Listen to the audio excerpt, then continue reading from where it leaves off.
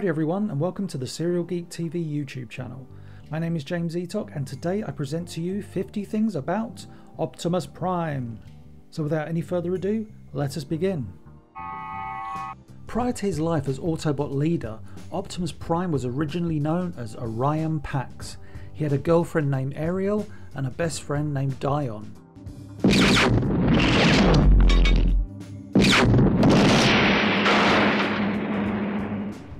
Brutally, both Orion and Ariel were killed by the Decepticons. Fortunately for them, Alpha Trion rebuilt the pair, Orion becoming Optimus Prime and Ariel becoming Elita 1.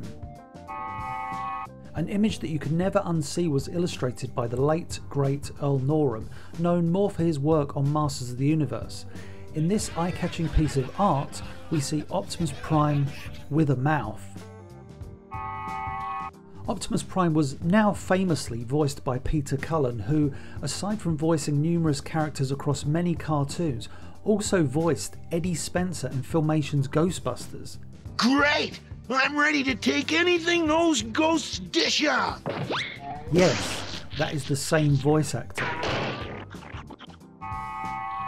Marvel Comics writer and editor Denny O'Neil, the man who arguably returned Batman to his golden age roots in the 1970s, named Optimus Prime. For a number of issues of the Transformers comic, a captive of Shockwave, Optimus Prime was nothing more than a head without a body. Due to the UK Transformers comic being published weekly and reprinting a single US issue over many weeks, this meant that we in the UK saw nothing but a bodiless Optimus Prime for 17 issues. When it comes to insults, the Autobot commander is a tad uncreative. Fat sense, fathead! Although arguably the star of the first two seasons, Optimus Prime surprisingly does not appear in four episodes of season 2 a Decepticon raider in King Arthur's court, Autobot, Hoist Goes Hollywood, and Trans Europe Express. Starscream actor Chris Latta voiced Optimus Prime during the recording session for the episode Countdown to Extinction. This was due to Peter Cullen not being available for the session and having to record his lines another day. Gladly. I hate standing at ground zero when an explosion is imminent. Or hadn't you noticed that your possession is in an unstable condition? Optimus Prime proved to be such a notable character, even in his earliest days, that Pepsi promoted their brand on his trailer. In recent years, this, of course, has gone on to become an independent character known as Pepsi Convoy, and I must say that his artwork looks rather spiffy. Side note, this channel is not sponsored by Pepsi. A rather infamous continuity error occurs in the episode The Return of Optimus Prime Part 1. In his previous appearance, Dark Awakening, we saw Optimus Prime in pretty bad shape. Actually, he was pretty much held together with superglue. However, when we see the same scene in The Return of Optimus Prime Part 1, he looks as impressive as his character model sheet, which is even stranger as the script itself referred to the damage he had previously sustained. Optimus Prime does have a little bit of a temper, as poor old Sideswipe found out. Give me your rocket pack. My rocket pack? Now! Uh, yeah. Right. To date, there have been well over 100 Transformers related toys bearing the name Optimus Prime. And speaking of toys, quite possibly one of the worst Transformer toys ever produced saw Optimus Prime repurposed as a different robot altogether. Seriously, the image you're looking at now is not Optimus Prime. This is Sure Shot. Okay. Shohei Kohara was the first artist to bring Optimus Prime into the realm of animation with his initial character model. Marvel Productions artist Floro Dery simplified Kohara's work, reducing the amount of detail and somewhat more complicated design aspects, leading to the version we saw in the commercial and a slightly more simplified one in the animated series. The question is always asked where does Optimus Prime's trailer go when he transforms? Simple, it goes to the same place as the Sword of Power when Prince Adam sheathes it. When Korean studio AKOM animated episodes, due to their notorious use of pre final colour schemes, they would mistakenly paint Optimus Prime's back grey. Not that that should be the first clue that you're watching an AKOM episode.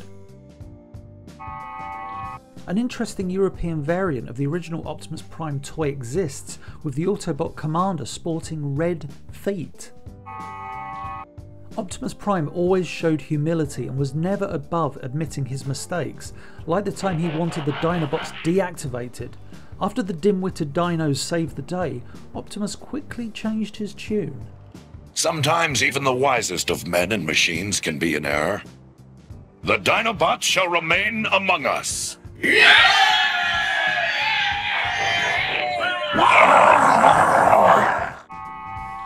After the three part finale, The Rebirth, Optimus Prime would go on to hang out with Tommy Kennedy on a post apocalyptic world, retelling and showcasing episodes from the previous seasons as well as the movie, after which he'd take young Tommy into outer space.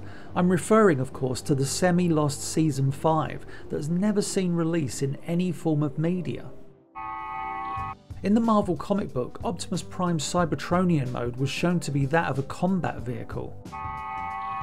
The Autobot commander once died due to the result of him losing a video game. Even as a kid, I remember thinking that this was an incredibly underwhelming death, though as a kid, I probably described it as rubbish. A strikingly glaring colour error occurs in the episode SOS Dinobots, in which we see Optimus Prime sporting an all blue colour scheme, although it is easy to correct. See? Optimus Prime doesn't always have a plan. Okay, Optimus, what's the plan? I have no plan. Famously, children of the 1980s did not take well to the death of Optimus Prime in the movie. That actually may be an understatement. Hasbro, whose edict it was to kill off the character, was shocked. Those that worked on the cartoon were probably less shocked knowing that they'd created a well rounded character and not just a toy commercial. Even after the series had ended, Peter Cullen continued to voice Optimus Prime in the commercials. Who will join me? Who will give up the power to transform to become stronger, faster, more alive? Optimus Prime became strangely addicted to basketball in the episode The Master Builders. Due to the first few episodes being produced by a number of animation teams under Toei Doga, Prime's appearance goes through some notable changes. Optimus Prime's energy axe, which was pretty much designed for the famous battle with Megatron at Sherman Dam, has gone on to become a much associated toy accessory. Prior to the introduction of the Matrix of Leadership in the animated movie, there is no reference to it when Optimus Prime is close to death and has his chest operated on by Ratchet and Wheeljack in the episode Divide and Conquer. Optimus Prime's epic battle with Megatron in the animated movie was staged to perfection by Peter Chung, who would go on to storyboard the introduction sequence to Teenage Mutant Ninja Turtles and COT, and most famously create Aeon Flux. Speaking of Peter Chung, he storyboarded an unused bumper for Season 2, which was to see Optimus Prime and Megatron clash in a rather spectacular way. In some media, it has been stated that Ultra Magnus is Optimus Prime's brother. This, of course, primarily stems from the fact that the pair share the same toy. Me, I prefer to think of Ultra Magnus as he appears in the cartoon. In one of the earliest pieces of promotional artwork by Marvel Productions, when the Transformers cartoon was still being developed, we see a human inside the Autobot commander manning the steering wheel. A model sheet for Power Master Optimus Prime was created based on his toy, but this version of Optimus only appeared after the series in a handful of commercials and comic books. In the very first draft of Transformers the movie, Unicron is destroyed by unleashing the spirit of Optimus Prime. Ooh. In issue 2 of the Marvel comic, artist Frank Springer originally drew Prime's trailer with the Diaclone logo on the side of it. Optimus Prime makes good on his threats, like the time he threatened big game hunter Chumley in the episode Prime Target, then strapped Chumley to the villain's stolen Russian jet, and then delivered him to Russia. Surprisingly to some, Optimus Prime is not the first Autobot to speak in the cartoon. He's not even the second. After Bumblebee and Wheeljack have their encounter with the Decepticons, Optimus Prime addresses his allies, making him the third Autobot to speak. In the Japanese exclusive cartoon Transformers Super God Master Force, Power Master Optimus Prime shows up. Kind of. The character of Jinrai is not technically Optimus Prime, which is explained, again, kind of. A rarely seen piece of artwork by one of the astounding Japanese artists at Studio Ox depicts a cross section of Optimus Prime's internal mechanics. In the episode 5 Faces of Darkness Part 2, a dying Rodimus Prime states, My time in the light is short. Arcee immediately remarks that these were also the dying words of Optimus Prime. Now, those of you that know the movie may be thinking, hey, she got them wrong. And she did. Arcee's dialogue actually refers to an earlier draft of the movie in which Optimus Prime did indeed utter that line. Although Prime's trailer had a tendency to disappear, there were times that it was used in the series, most notably in parts 2 and 3 of More Than Meets the Eye, Fire in the Sky, Attack of the Autobots, The Autobot Run, and The Search for Alpha Trion. It's fair to say that Optimus Prime kept the Autobots from going extinct, or should we credit that to Starscream? Or even Teletran 1? A very early animation model was based on the Diaclone prototype for his initial figure. This version can actually be seen on the cover of the very first US produced Marvel comic. Optimus Prime is briefly reactivated in the Beast Wars show from the 90s. For a time, I was a small part of the Transformers community. I used to sell my UK comics to my fellow fans, and I still recall the joy people had when the Ark and its deactivated inhabitants were shown in the episode The Agenda Part 3. People lost their sh.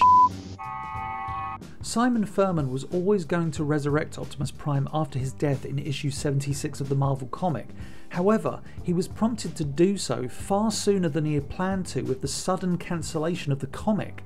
Thus, Optimus Prime returns again four issues after his death in order to wrap up the saga of the Transformers. One of my favourite oddities occurs in the Japanese exclusive Headmasters cartoon.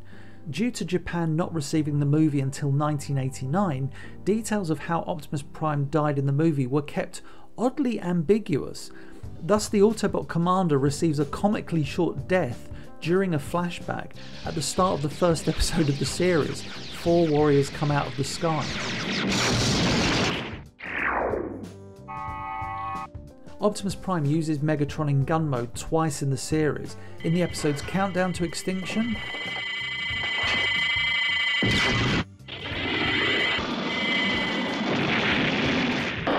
and the Insecticon Syndrome, and it always made for a rather awesome visual. On the cover of Cereal Geek issue 9, artist Makoto Ono illustrated Optimus Prime, as seen in the Marvel Productions cartoon, meeting the slightly more detailed and stylized Optimus Prime as depicted by the artists of Studio Ox. Yeah, I know I'm slightly cheating with that fact, but eh, and finally, it's fair to say that Optimus Prime attacking the Decepticons in Transformers the movie is one of the most pulse pounding scenes in any animated movie or TV show of the 80s. Yeah, look at him go.